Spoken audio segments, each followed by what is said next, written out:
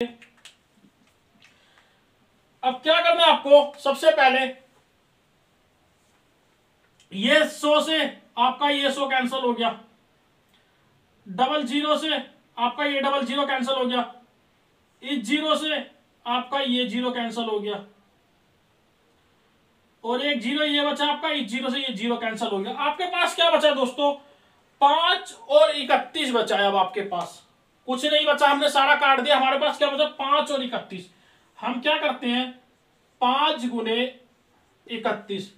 हम जब इसे इंटू करें, कितना हो जाएगा दोस्तों हमारा? पाँच का पाँच और पंद्रह। यानी एक सौ पचपन हो जाएगा हमारा। एक सौ पचपन हमारा आंसर ठीक है। हम देखेंगे डी ऑप्शन हमारा एकदम राइट है, हम डी पे क्लिक कर देंगे। देखिए दोस्तों मोस्ट इंपोर्टेंट क्वेश्चन था ये।